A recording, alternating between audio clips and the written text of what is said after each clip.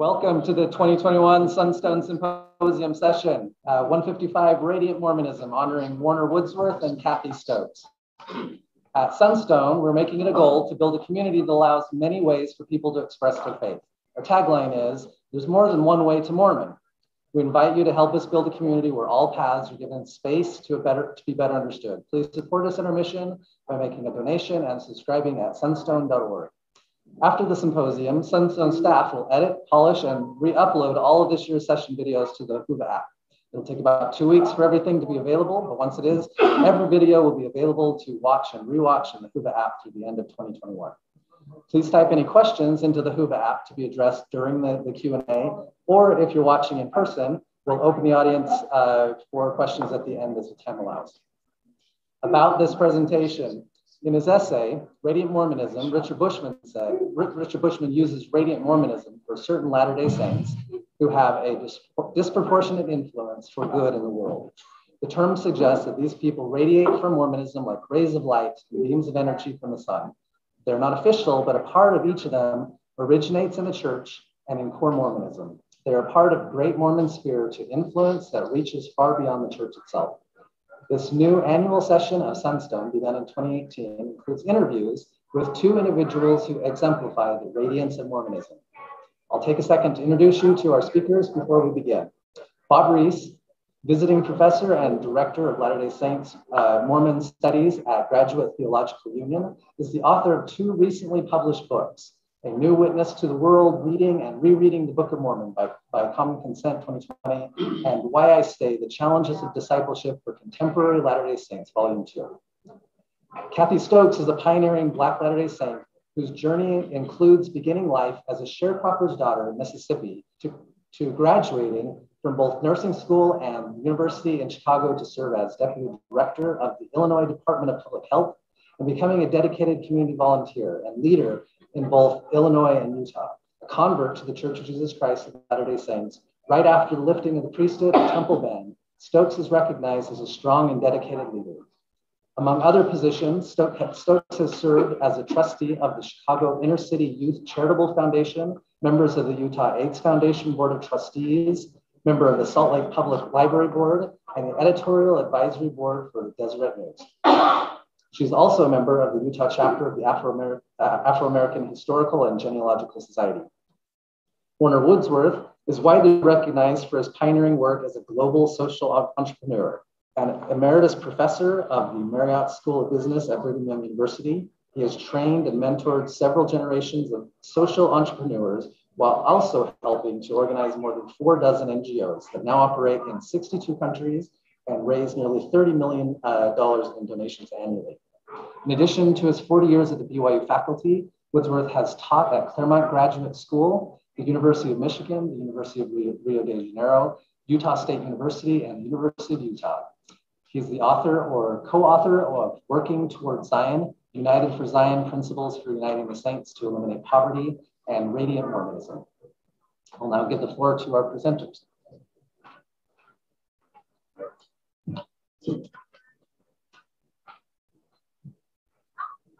Zandra, you mind closing those doors so we keep the down?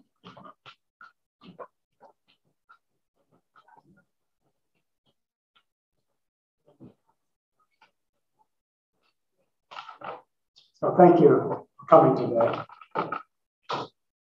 Just reminds me of the story of the itinerant uh, evangelist, preacher who went uh, throughout uh, Wyoming preaching uh, the gospel and uh, was not having too much luck attracting people, so he put out tracts to tell people that on a certain day they would uh, it would be a big camp meeting. So uh, he showed up at the camp meeting and just one person sitting on the front row.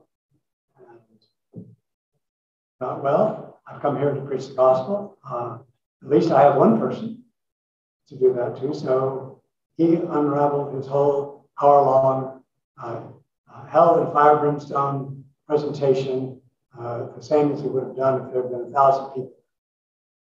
He stepped down off the podium and shook hands with this farmer and uh, said, Well, what do you think? I say, well, I liked it a lot, but out here, you know, we raise a lot of hay. And if I brought a truck of hay and then loaded it, and brought a truck, a truck full of hay, I'd be damned if I would have loaded it was just one cow. but I'm going to unload today. You know, Milton spoke about his great poem Paradise Lost, and he said he was writing it for a fifth audience, no cue. So uh, you can consider this a kind of Mil Miltonic uh, presentation today. In his presentation, Radiant Mormonism, uh, delivered both at Palo Alto and at Graduate Theological Union, where I teach. In 2017, Richard Bushman, who had written uh, an essay called Radiant Mormonism, argued that Latter day Saints have a disproportionate influence for good in the world. I think that needs to be tempered with the idea that Latter day Saints are better, uh, smarter, or anything else, but he says they have a disproportionate influence for good in the world. One might say potential disproportionate influence. So, any examples of such radiance in scholarship, education, philanthropy, politics, humanitarian service, and the arts. Bushman says this this influence of radiant Mormonism is even broader than some people think about. The term suggests that certain Latter day Saints radiate from Mormonism like rays of light and beams of energy. Like beams of energy, like rays of light from the sun. They are not official, but part of each of them originates in the church and in core Mormonism. They are part of a great Mormon sphere of influence that reaches far beyond church itself. It's interesting that that sentiment of Bushman is confirmed by a book called The Triple Threat by Amy Chua, a non Latter day Saints, called The Triple Package. And she said that just the Latter day Saints have a disproportionate influence, not only in the areas that Bushman talked about, but in politics and in business.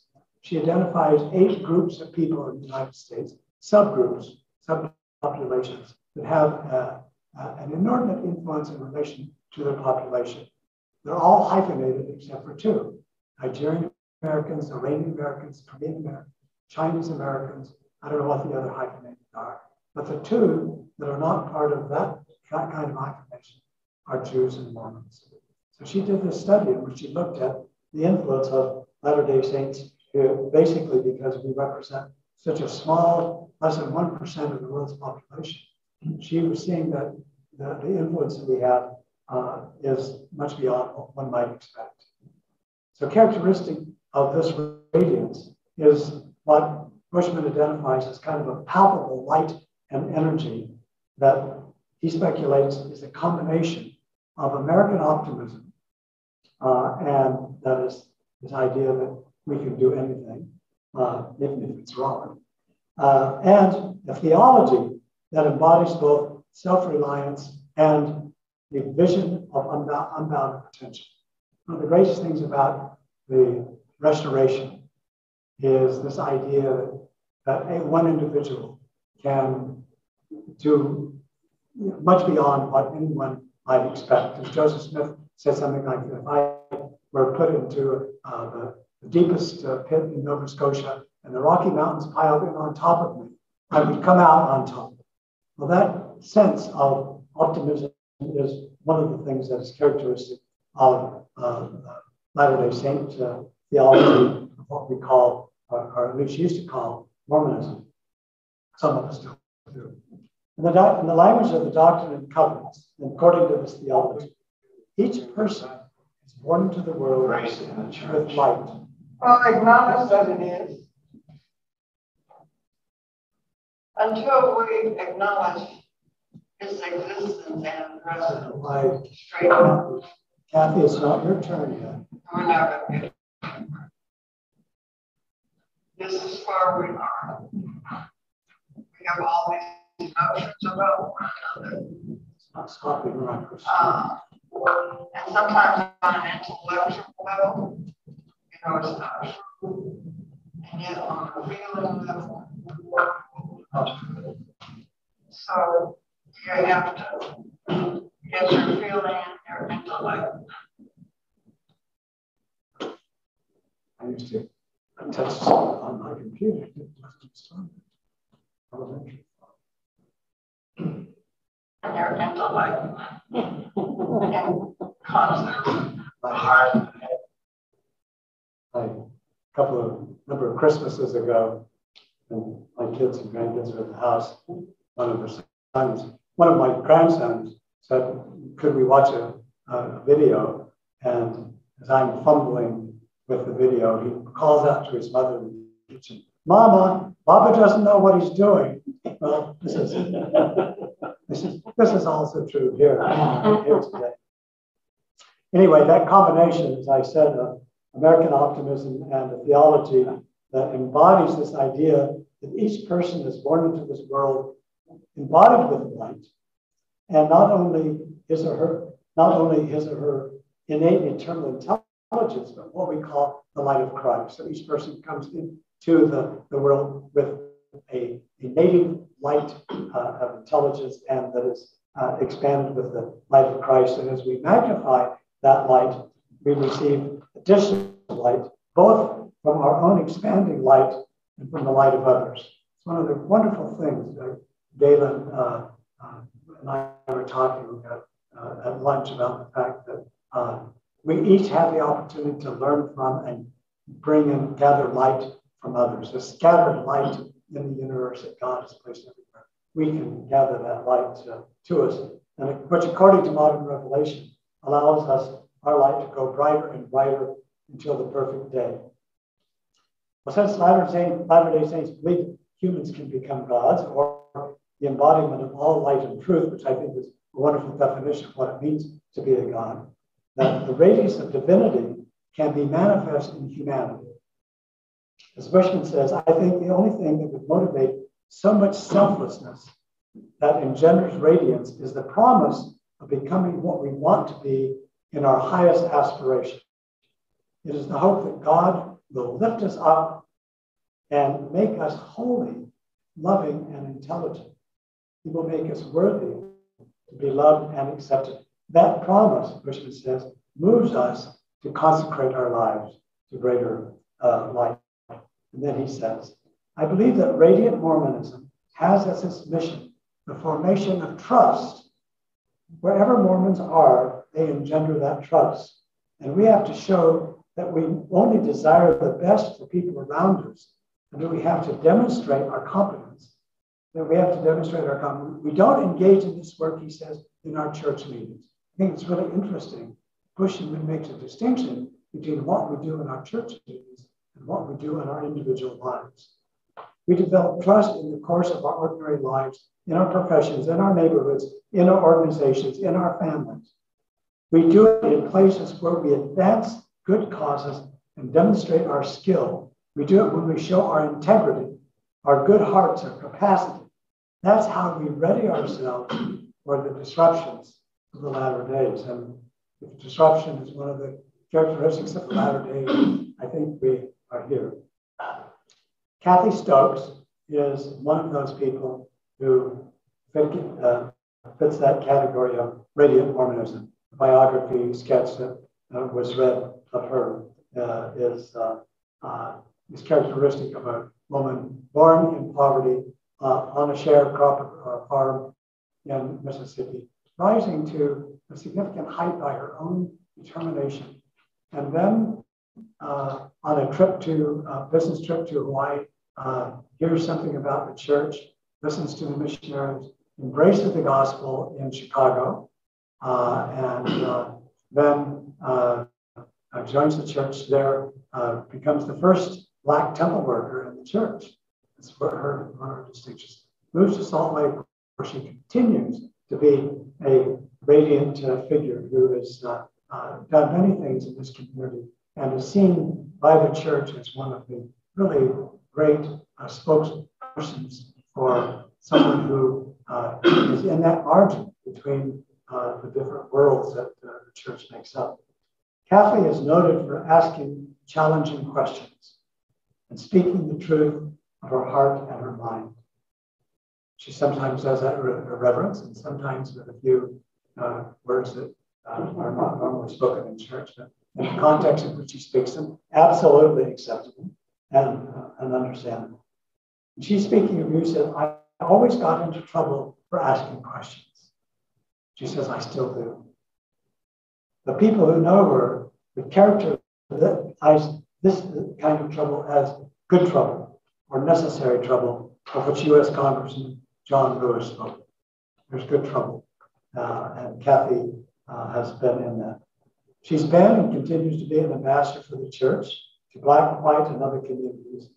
When I think of her work in the community and in the church, I think of Shirley Chisholm, Chisholm the Black activist, said.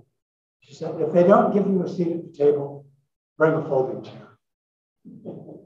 I think that is uh, uh, Well, unfortunately, when I, I got to uh, uh, Utah week, we found uh, Gloria and I found that Cathy had been hospitalized and uh, uh, was told that she wouldn't be able to be here today. And that was, uh, for me, uh, a real disappointment. But anyway, Gloria and I decided to uh, go to the hospital and visit Cathy. We had a wonderful visit with her. And Gloria took her phone and recorded some of that conversation. And so we're going to hear uh,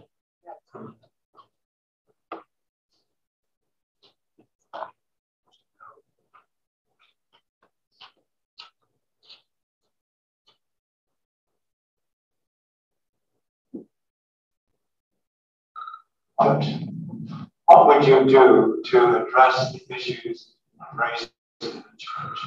Well, acknowledge that it is. Until we acknowledge its existence and presence, right on.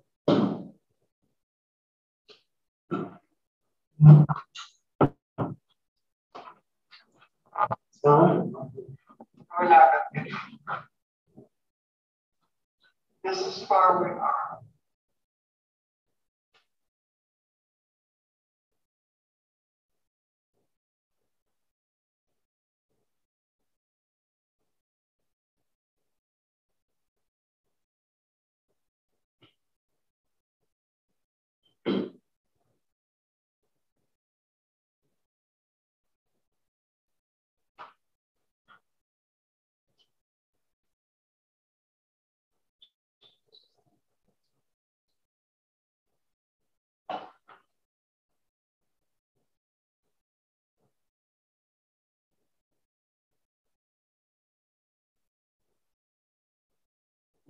Those of you on Zoom, quick bathroom break, get something to drink, be right back.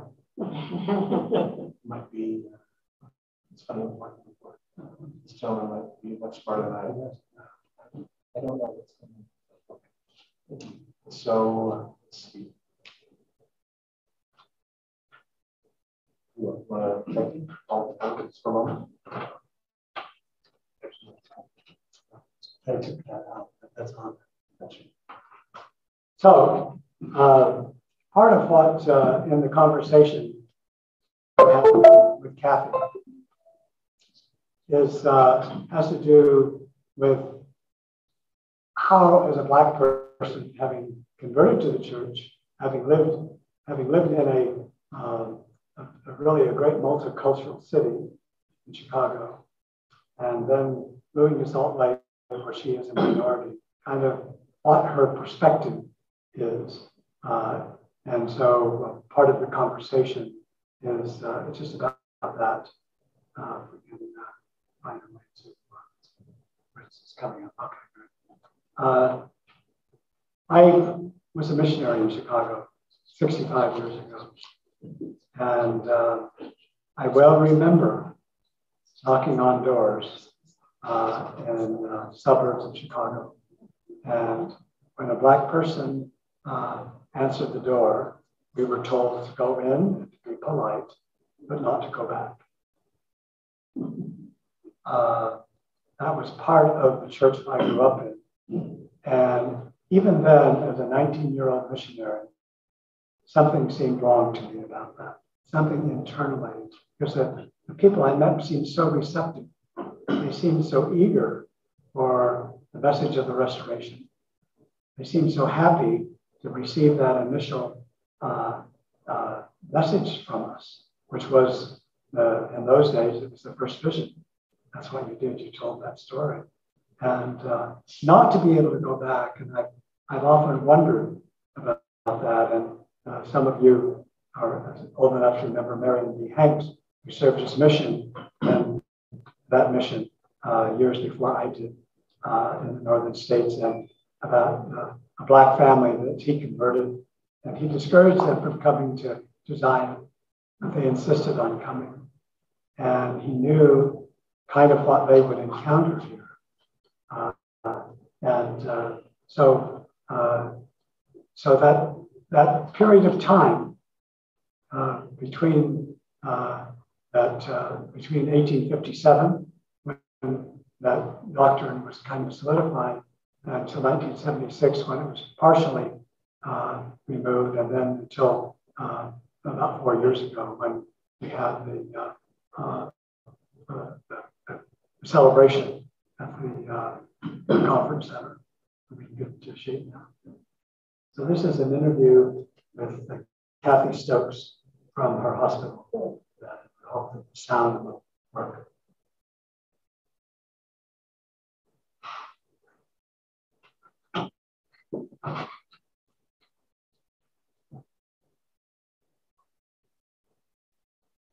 But what would you do to address the issues of race in the church? If she were a problem. Well, acknowledge that it is.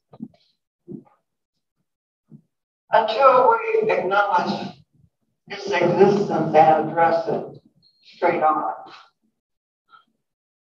we're not going to get This is where we are. We have all these emotions about one another. Uh, and sometimes on an intellectual level, you know, it's not true.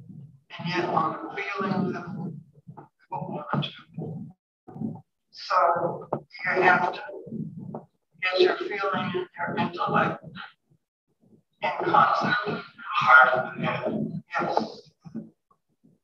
Um, and then to examine however many ways can to, to work it out ways we know how to work things out. Think things through in a way. And we say, this does not make sense. This does make sense. And we move. But the uh, whole thing of just accepting I'm the greatest, the best, You're the servant is not cut it. You said in an earlier conversation we had, we were talking about this, just pushing it out to say tell the truth. That seems to be the hardest thing in the world. It seems to be the hardest thing in the world. Um, no, black folks have stories about well, white folks have stories about black, folks got stories about They're just as true or untrue as they can be. But it holds us back from knowing one another. And it's if we want to know that we may love Uh,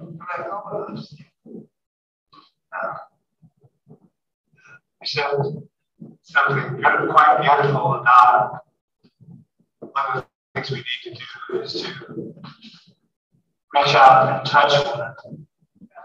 If you touch somebody's hand, yes, how does the rest of that go? uh, make this world a better place if you can.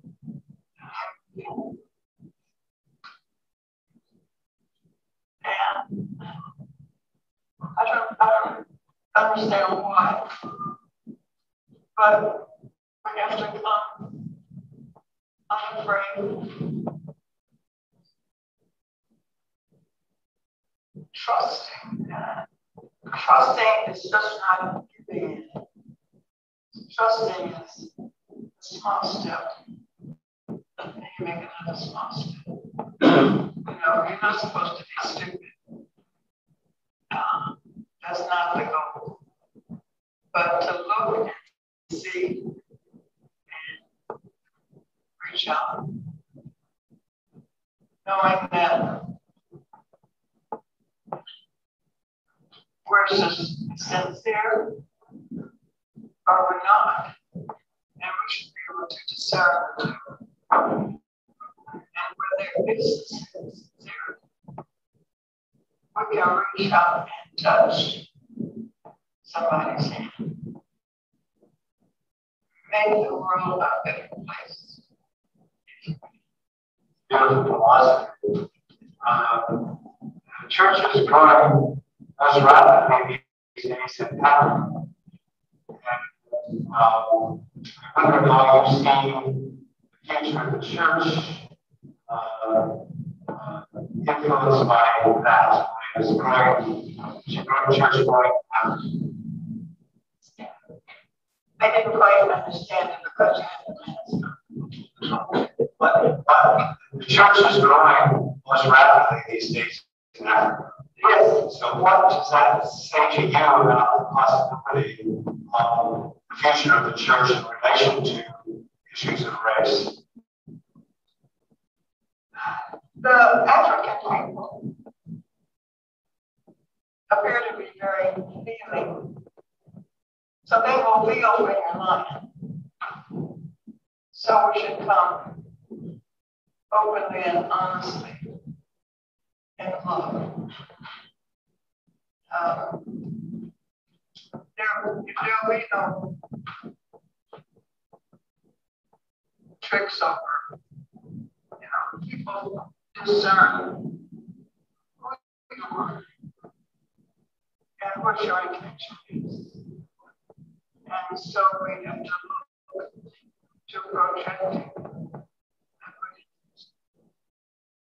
and projecting on loving we can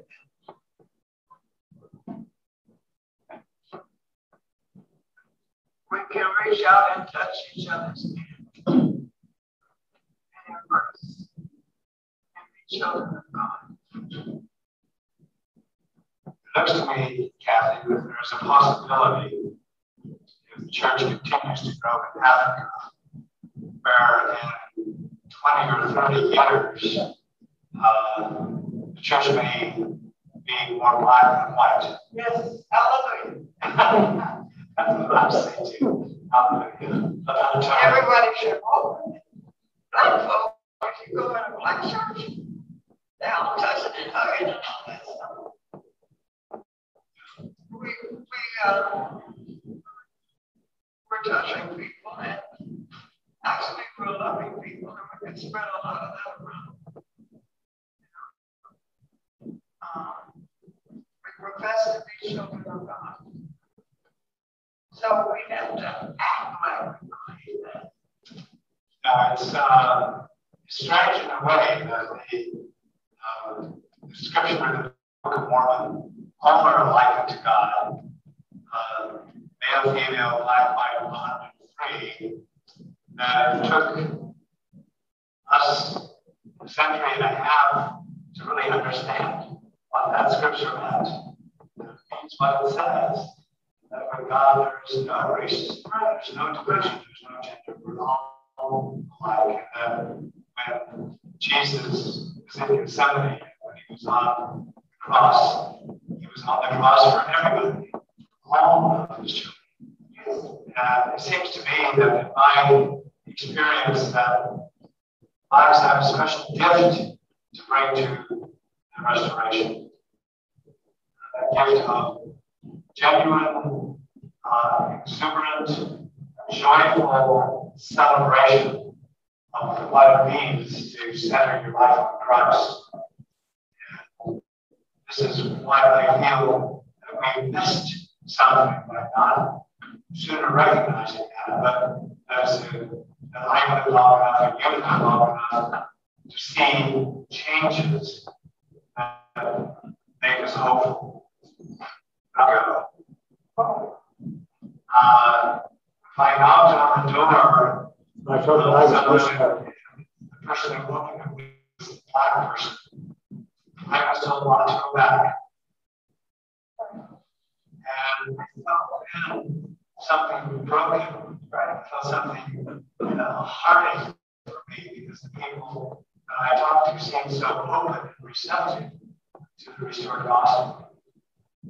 So it's just wonderful to see faithful people like you have stayed and been faithful and testified of the goodness of the church without being overwhelmed by the things that are not right.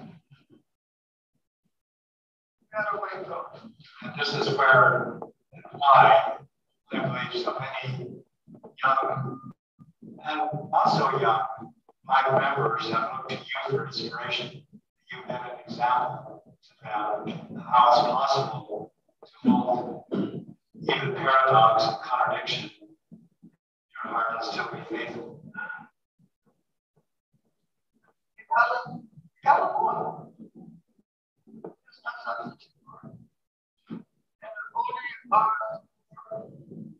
spirit All you need is love. I think that the Beatles sang.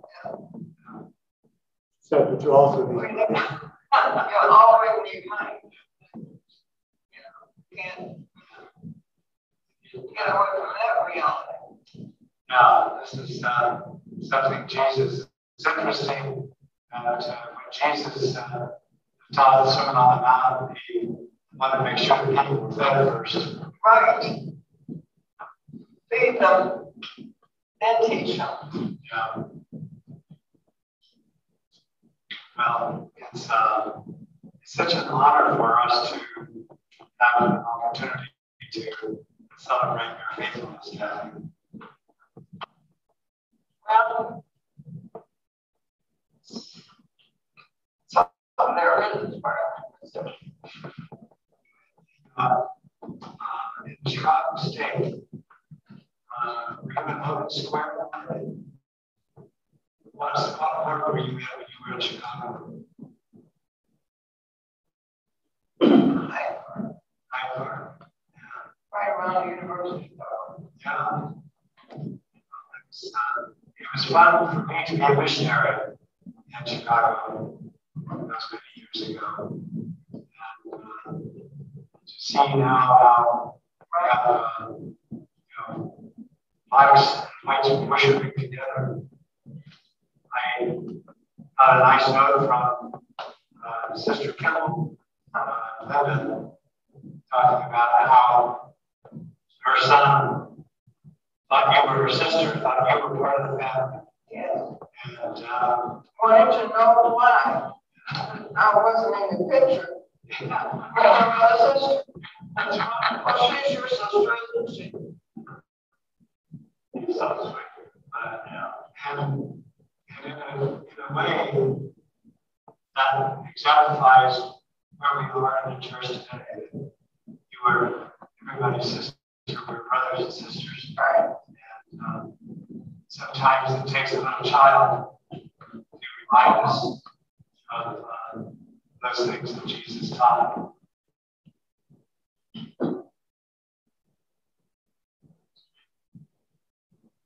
Make this one Uh,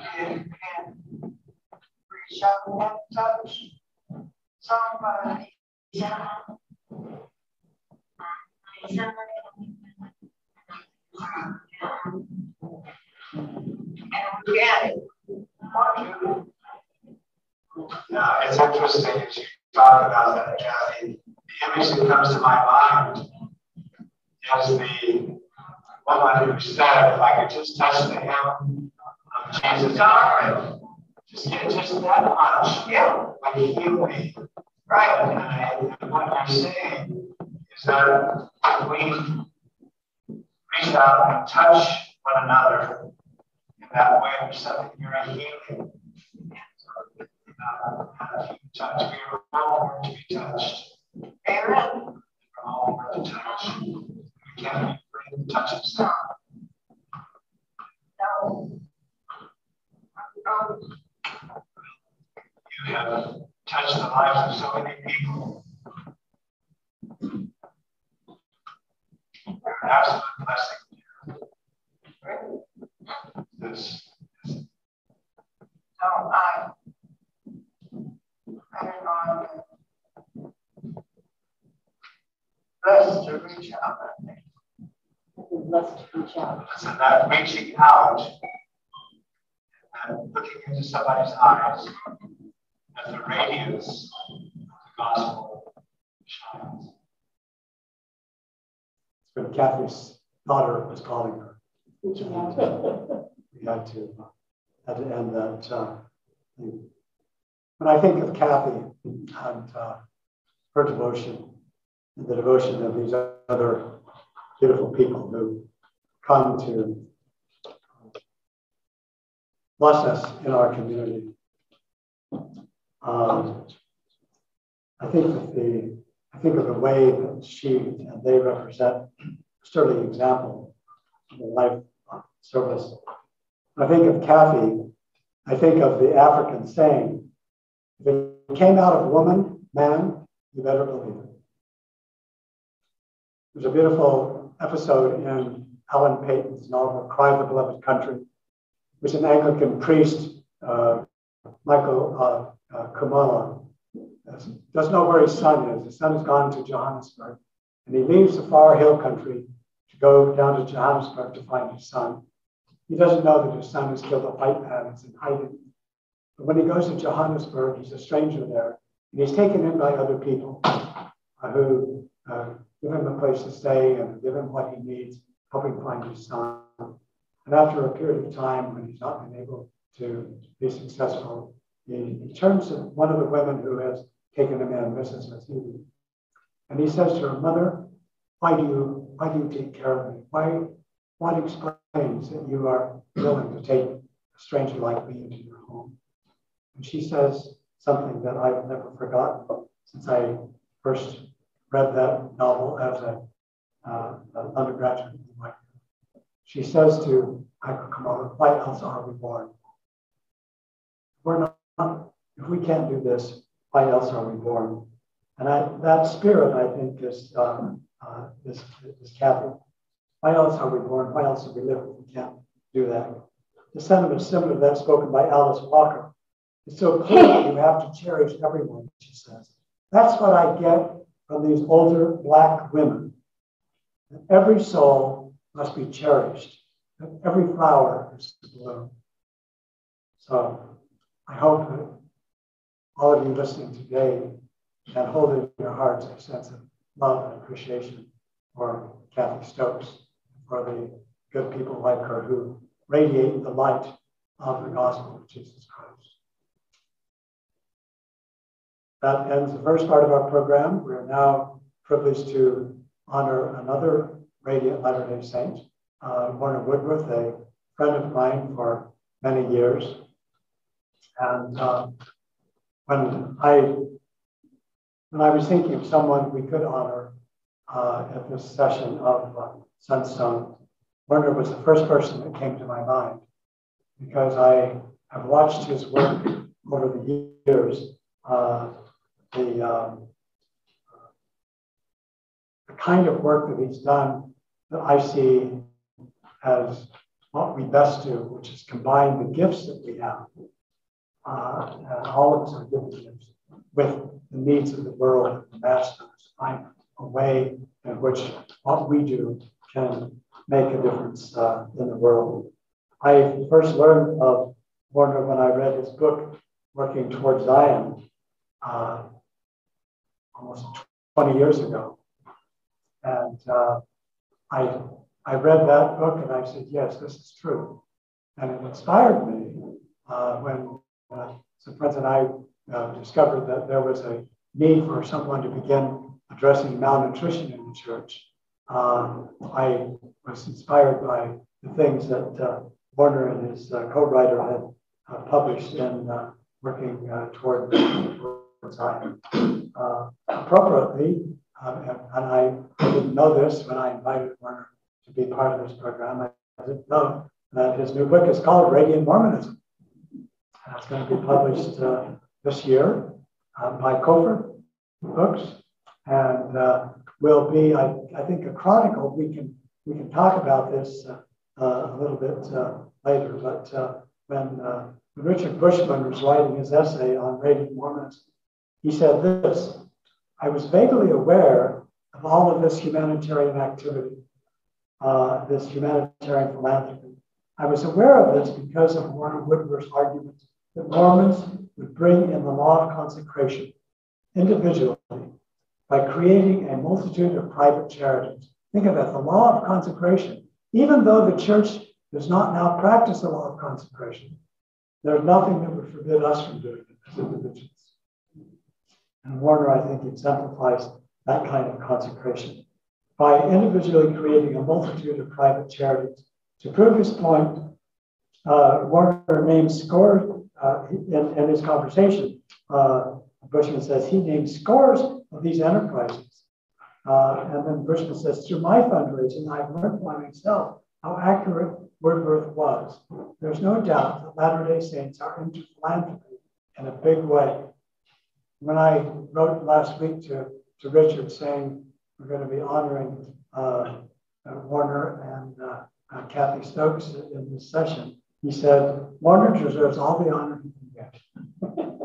um, that's, uh, so, um, this is Warner in his own words.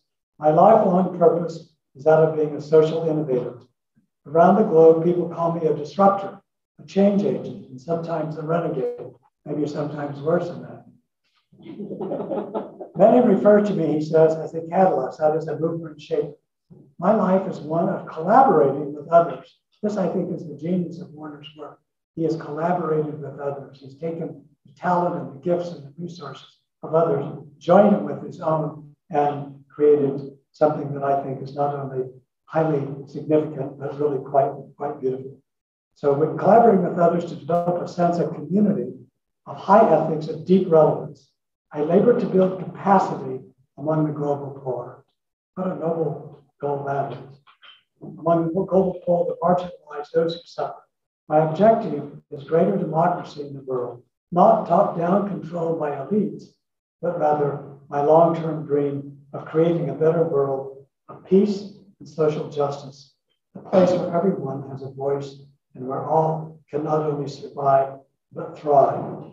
The paradigm of my work is that of empowering the world's have-nots so that they enjoy, may enjoy a more, sustain, more sustainable lives.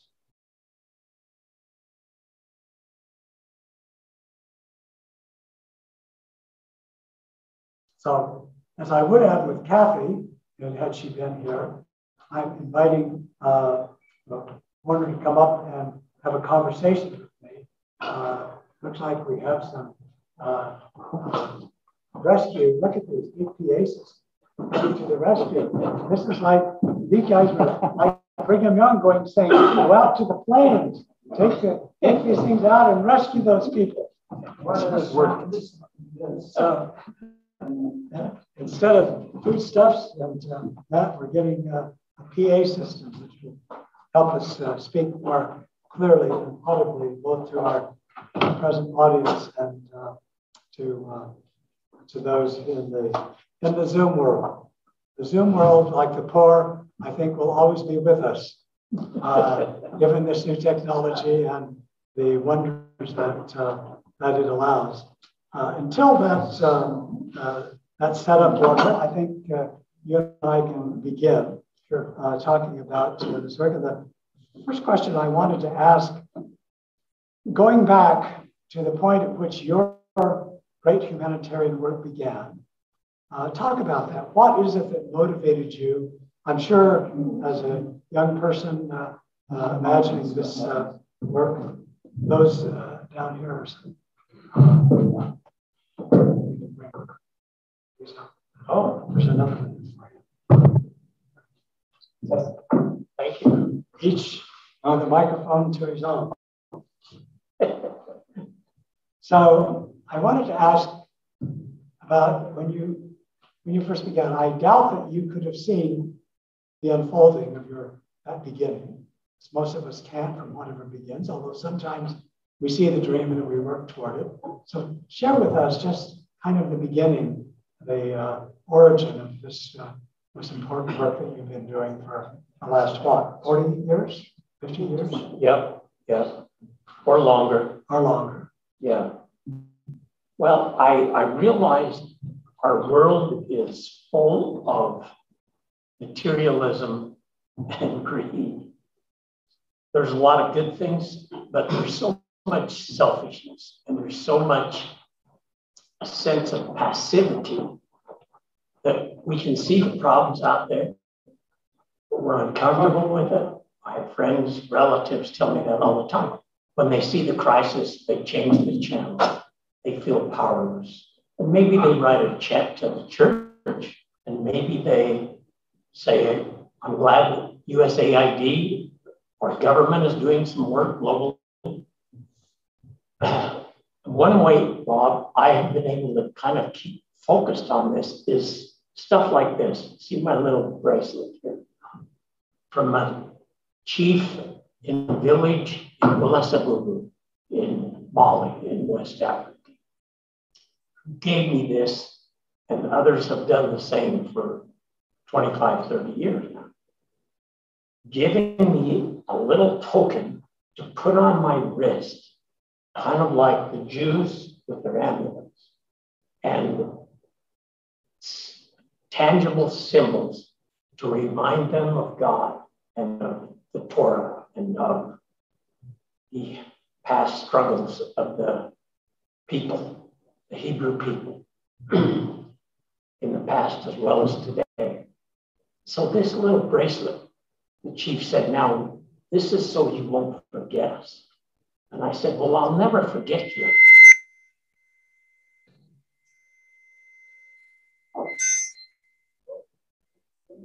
You won't was- forget that. It was a it was a brain a brain mapping process there. Is it still on? Yes. So uh, he said, I know you're going to a culture where people like us, the third poorest country on the planet, we're not, remembered. we're people are in your country are not aware of us. You have more supplies in one of your big stores. What do you call them? I said, supermarket. He said, yes, you have more in one of those than our 36 villages combined. And we know it will be hard when you're in that environment. And so I, I wear these bracelets, this and others, often to keep my mind focused on those who suffer, on the humble, on the rejected, on the ignored, on the forgotten.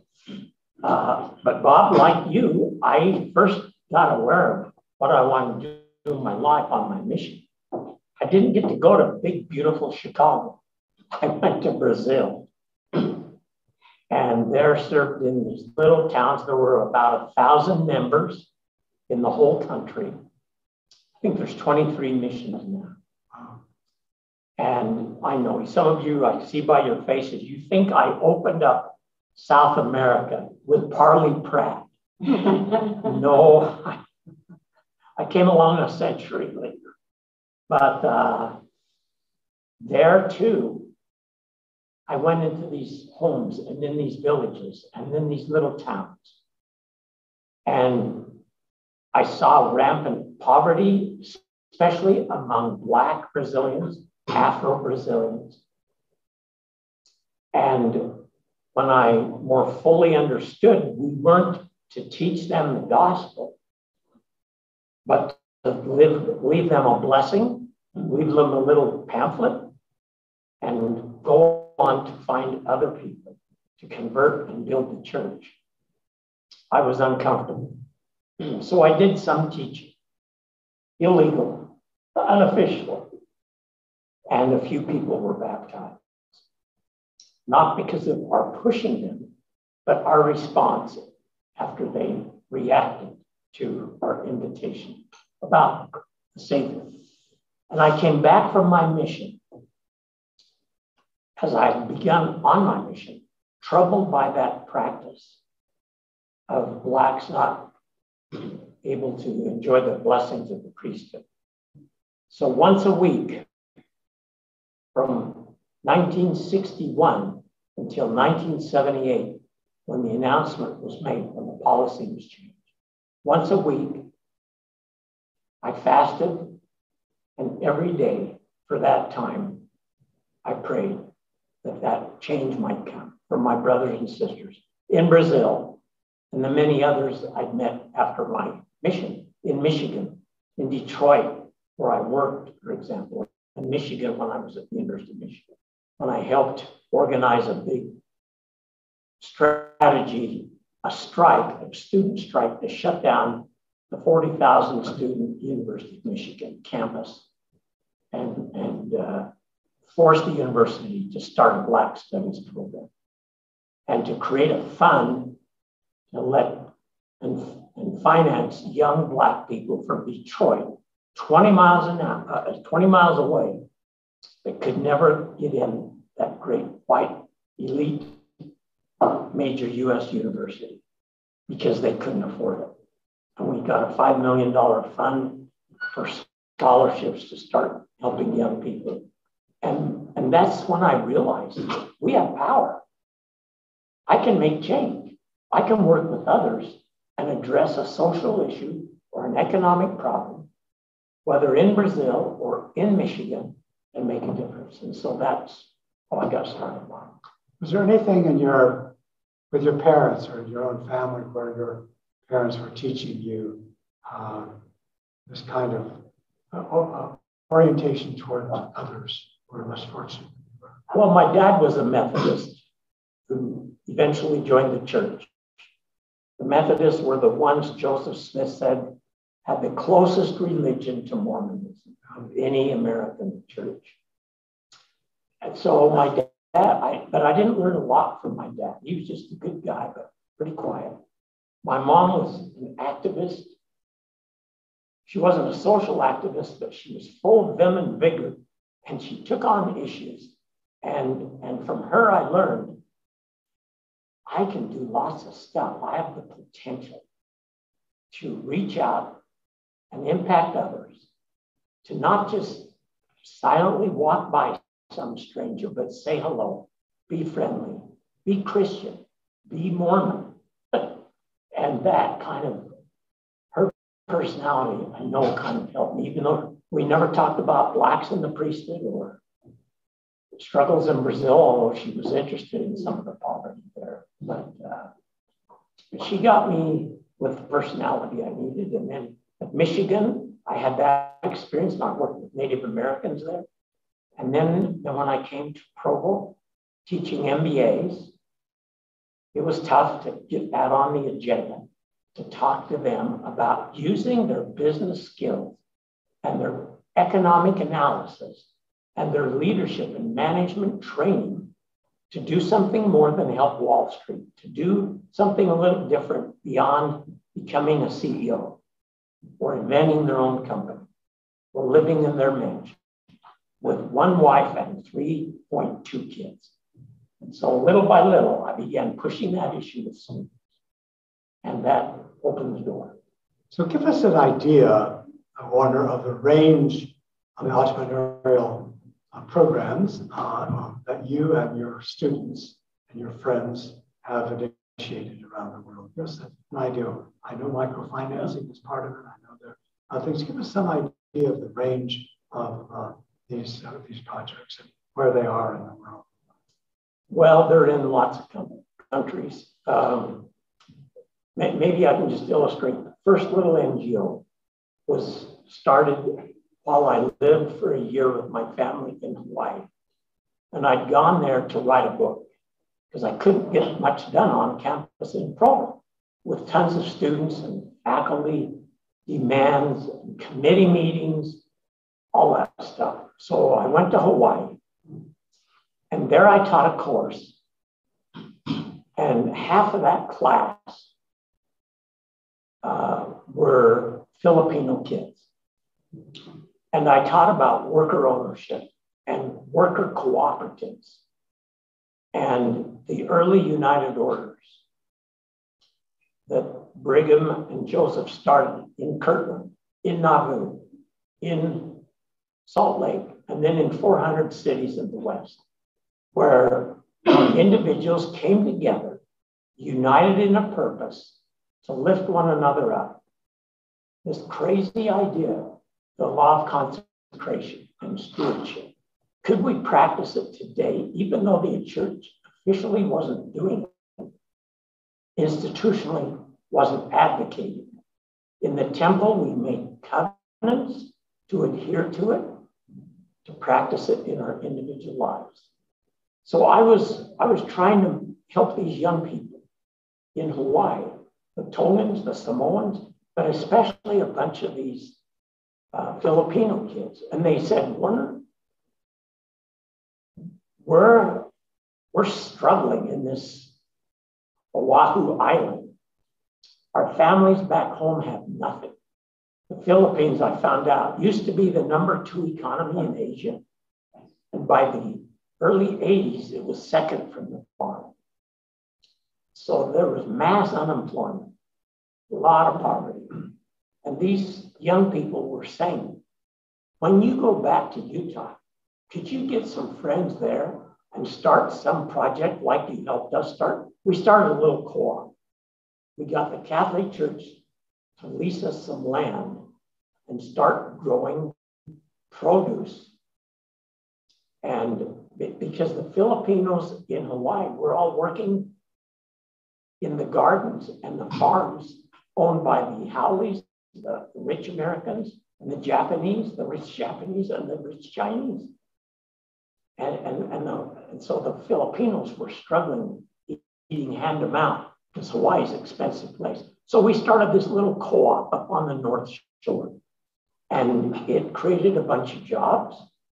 And they were blessed, and, and these kids were impressed. And they said, Promise us before you go home, you'll go to the, the Philippines and help our relatives there. So I came back with that commitment and started that little idea uh, of creating jobs for impoverished Filipino Latter day Saints.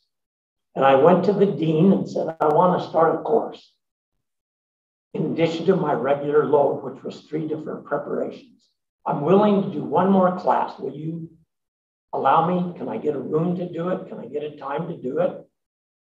He asked what it was. I explained it. He said, Well, that's got no future. I said, I know you're the dean. I'm sure you're right. But maybe we'll just try it. Well, I couldn't get official permission. So I created the course, Black Market, you know, underground, with a bunch of kids. Started with three kids, and then six, and then 10 or so. It was a small seminar in which we studied why the economy of the Philippines had dropped so precipitously and what could be done. And then I got some funding from another friend to send three students there that summer. And we did an analysis of the Philippines, what nonprofits were there, what NGOs, non governmental organizations were there, what was working, what was the Catholic Church doing, what was the LDS Church doing, why weren't their impacts greater? And then we started this little program called Philippines Enterprise Development Foundation. And then we, we did that in Manila and then spread it to two other islands and then created a much bigger organization, organization now known as Mentors International. And we've helped create hundreds of thousands of jobs. And we've blessed lots of lives with micro enterprise, which is giving loans to impoverished women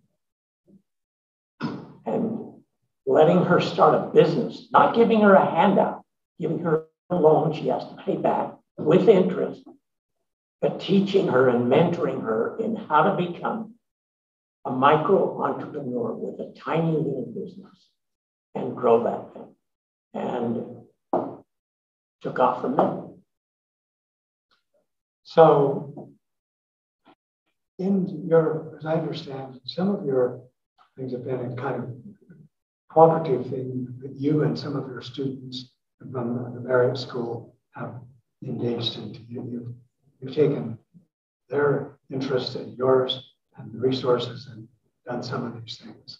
Uh, is there anyone of those that stands out among your students who I've been particularly uh, visionary in taking the things you were taught. I mean, every teacher hopes at least one student will get the idea, take it out into the world. Uh, is there anything that comes to mind? Sure, yeah. Uh, I mean, I've really been blessed to be able to tap in to the young Latter-day Saint population, both at the Y, the U, Utah State, UVU, as well as LDS kids and their friends, not just Latter-day Saints, but their, their friends at Stanford, at Virginia Tech, at Harvard, in Germany, in London, Cambridge, as well as lots of campuses across the country, where we have seen a problem, decided to address it, formed a little project,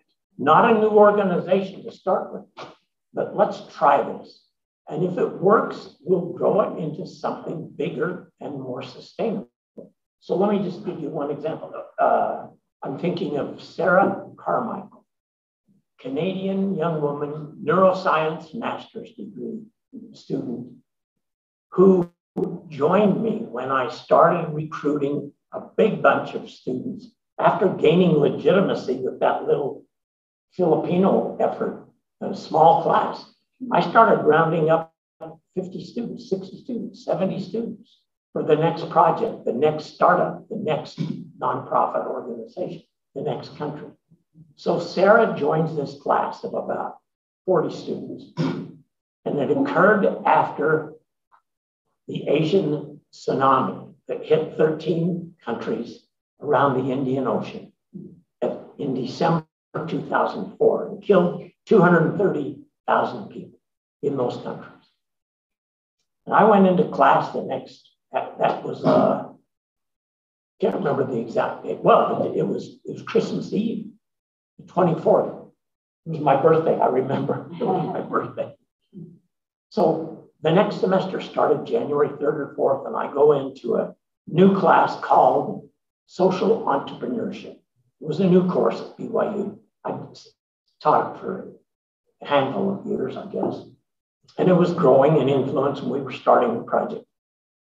And into this class comes this person named Sarah. And when I said, those who want to help do something with the material you're reading and the articles you're studying and the books you're analyzing and the lectures you're hearing and the projects you're doing, those who want to mobilize together, let's think about starting a new NGO to help the victims of that earthquake in the ocean and the destruction of those countries. And out of that, she became one of the class leaders because she had the skills and she had the brains and she had the compassion. And she was more mature than many of the younger students. So she became the leader and led our first team of six or eight students to Thailand to a place called Khao which is not, not, you know, it's a few hundred miles from Bangkok. It's along the coast where dozens of villages were completely destroyed. And the jobs of fishermen who had been fishing off that coast for a thousand years, their boats were wrecked. Some of them swam to shore. Others were pulled out, their families, their homes, everything was out after the floods came in and went back out. And so Sarah became uh, one of the leaders of that team that summer. She was engaged to a guy who was serving in Iraq, the US Army. She was worried about him. She prayed about him every day. She prayed about the people in Thailand. And that little project was called Wave of Hope as opposed to the waves of destruction and we raised $116,000 to get that project started. It's just kept going. And from that, like a number of other students, she eventually grew older. She graduated. She got married to that guy. She has five kids of her own, but she started her own NGO, Dolls of Hope. And she's made with her friends over 500,000 handmade dolls to give to children in refugee camps from Syria, from Afghanistan, from Iraq, from uh, Myanmar, kids that people that were shipped out by the government there. Now they're in the jungles living so humbly in the jungles of Bangladesh, one of the other poorest countries on the planet. So she's just one of dozens of stories. One of the things I've noticed, Warner, is my wife and I have traveled to different uh, parts of the world. We're going to Guatemala next week. Uh, is that uh, many of the missionaries who serve in these countries, like you, uh, fall in love with the people, but they also fall in love with the idea of helping them.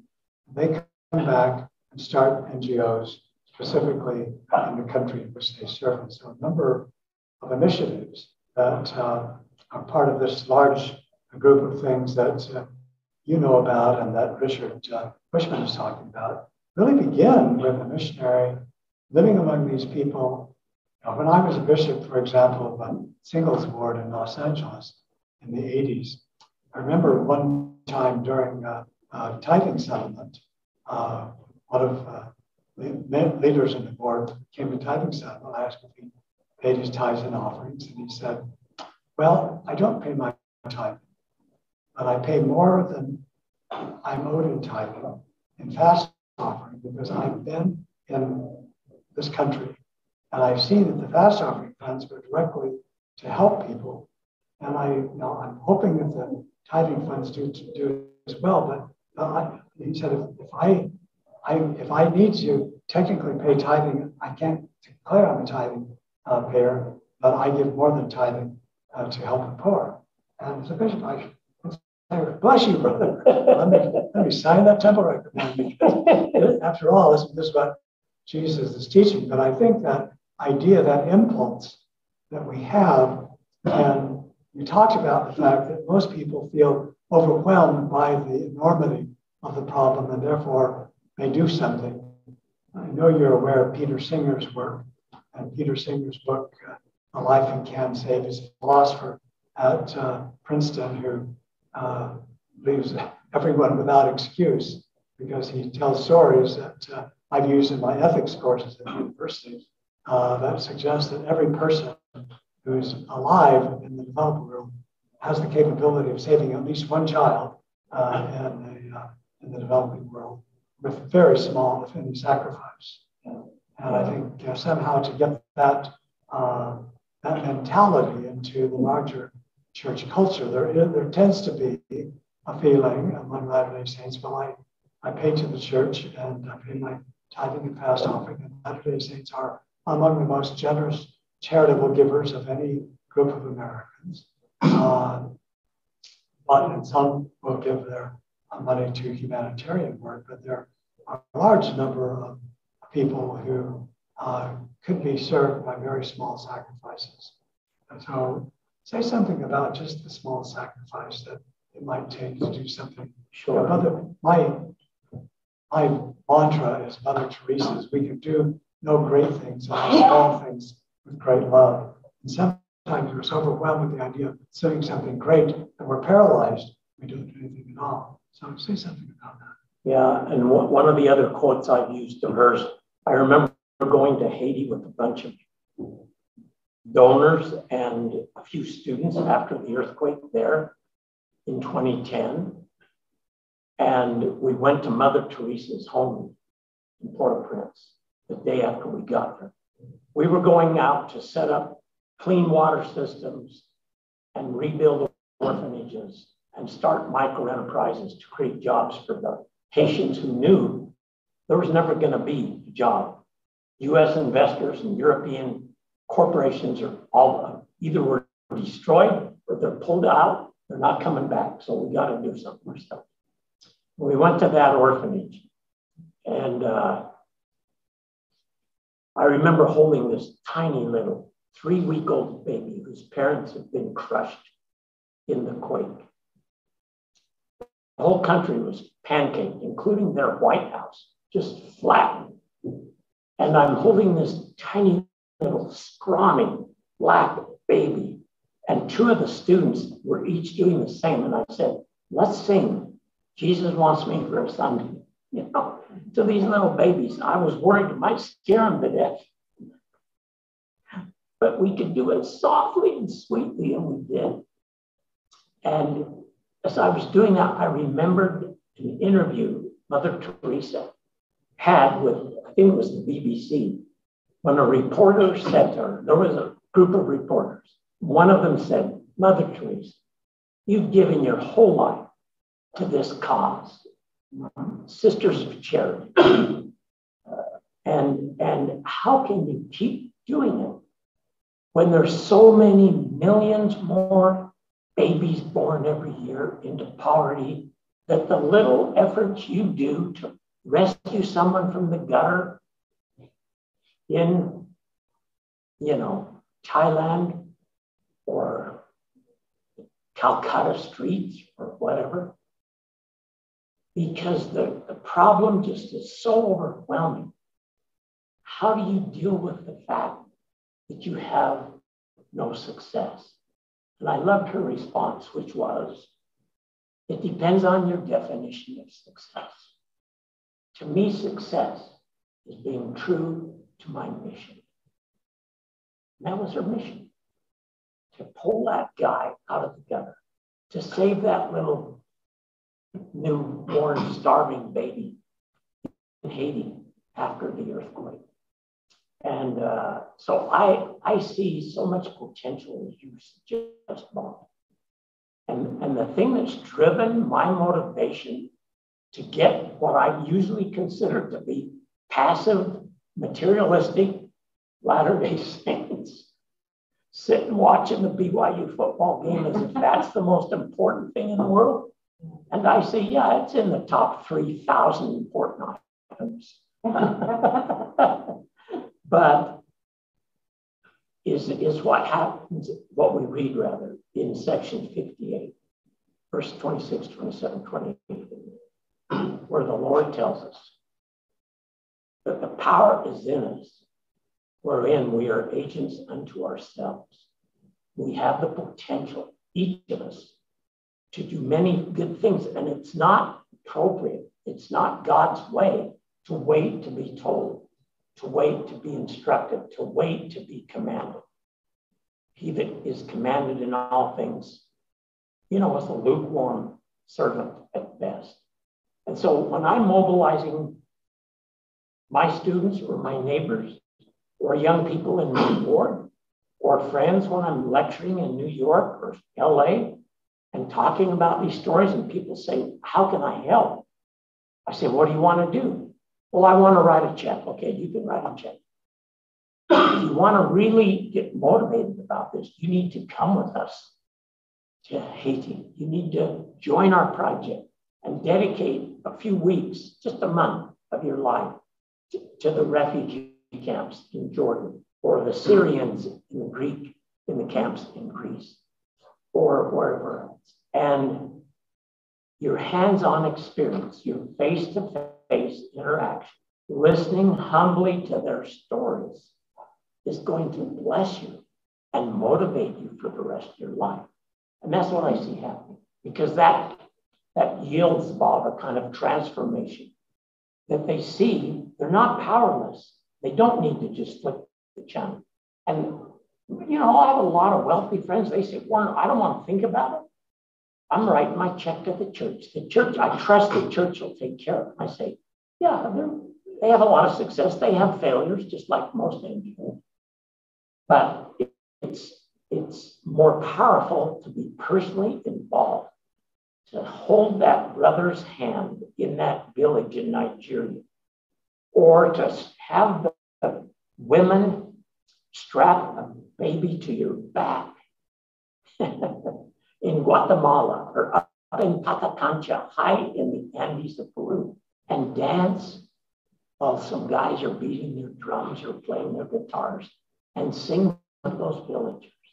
As you bring down new computers, laptops, and iPhones and technologies to help them be connected to the outside world.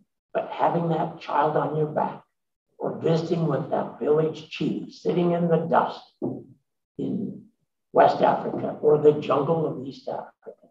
It's a life changing experience.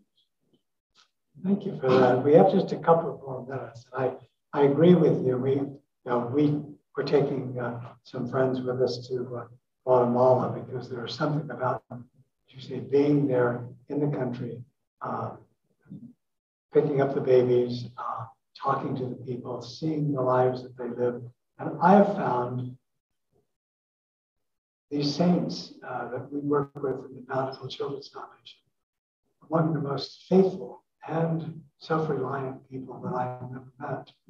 They are striving with all that they have to be faithful to the church and to be uh, do what they can for their families with extremely limited uh, resources. But I wanted to ask you just for a minute to say something. I know uh, that uh, your good wife plays a role in the work that uh, uh, the work that you've done. And I just like you to say a word about your family, about your your dear wife and her support of this work and her involvement in it, because uh, I know that she is uh, someone who's uh, inspired you and supported you in your work. Yeah, I'm blessed to have a fantastic spouse and 10 great kids, two adopted, one Mexican, one Brazilian, and three triplets. So we, we had it all, Mom. and as I call them now, my future donors, my kids, my 25 grandkids, my first great grandchild was just born a few weeks ago. I'm telling their parents, thanks so much for giving us a future donor because they'll get their engineering jobs and their law degrees and their M and they can keep things going. But my wife, Kay, married me with having no clue what her life would be like and how miserable and how much suffering she would go through. Just before the pandemic, I was in 21 countries in one year. I try to come back every other week and be here and help her. She's had some health challenges. But she's been amazing. She's gone with me and the kids to different countries. Maybe I can I share just one quick little Absolutely, incident? absolutely. So we were in West Africa the first time I took her there, and we were in a jeep with a couple of our staff bouncing over the terrain of a country that was in 11 years of drought. We're suffering here in Utah in the West. 11 years is miserable. They couldn't grow anything hardly. We, so we dug a lot of wells. We dug about 50 wells over a couple year period. And, and we went in this Jeep out to a little mud school we helped fund. The villagers built the adobe school and we paid for desks, cheap wooden desks and metal window frames, no glass, but frames so they could get some outside light. No electricity in that area. And we go to this village because they wanted to thank us. And we arrive bouncing around, dust blowing all everywhere. There's about 300, 250, 300 people chanting and singing, beating drums. And they speak Bambara. They don't even speak French in those parts of the country, uh, unless they got job or educational opportunity in the capital, Bamako. So we're out there. We got our translator. We got the director of our NGO called Welesabugu Alliance.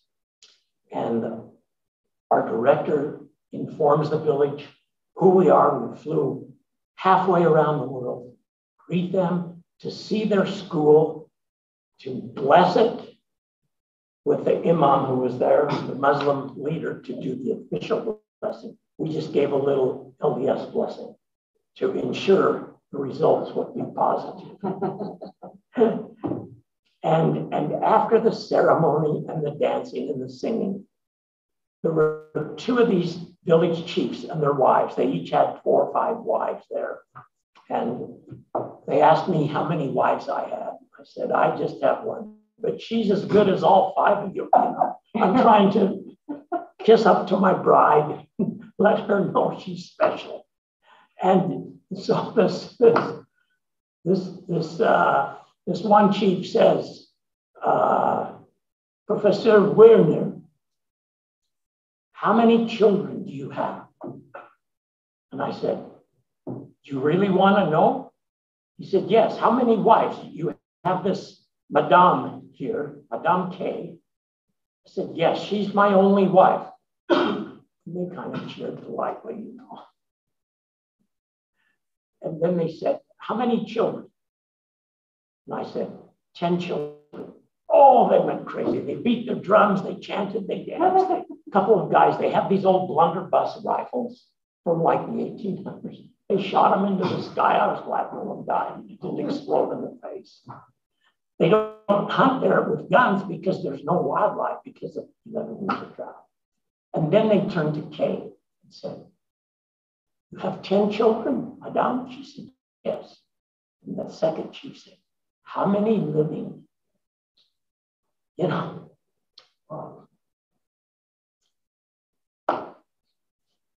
we looked at each other.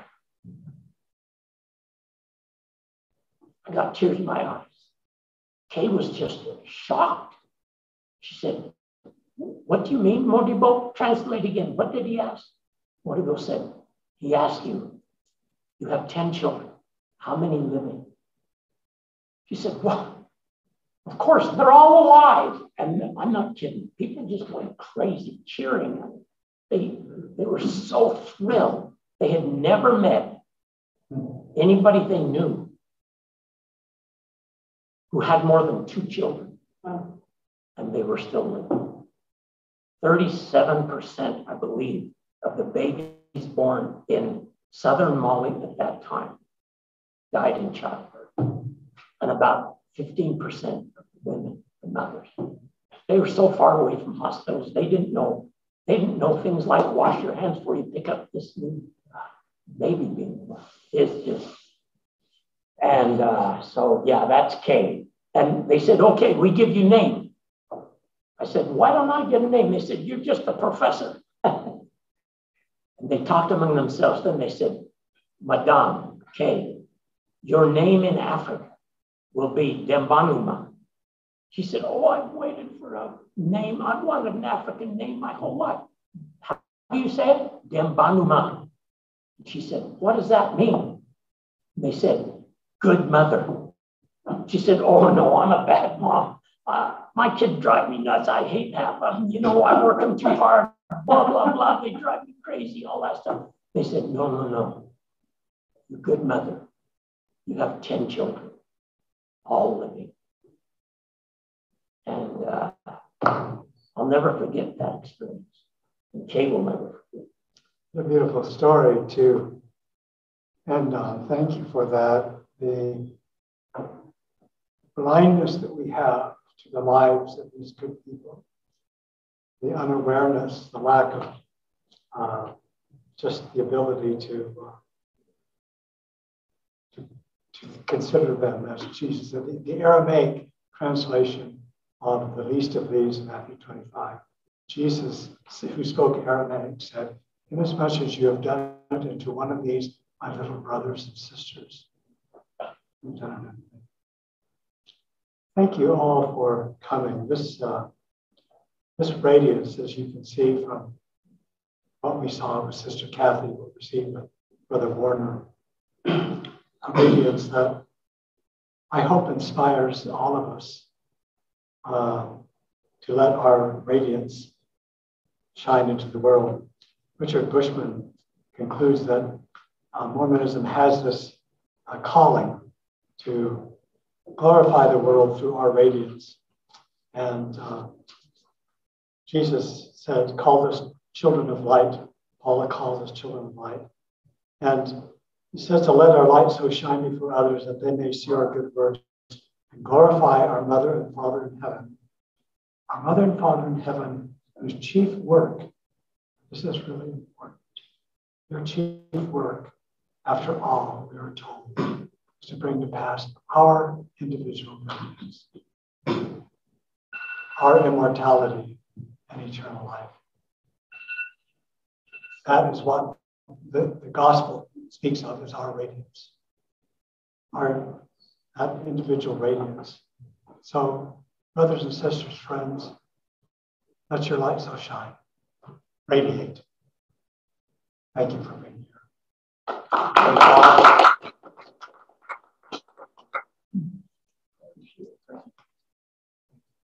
Thank our distinguished guests for uh, speaking to us today and sharing these great stories. And thank you so much for attending and supporting Sunstone. Thanks, everybody.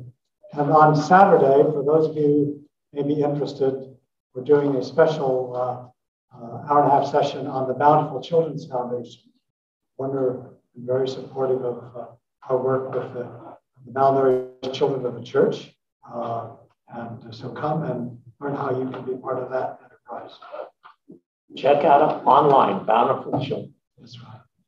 Thank you.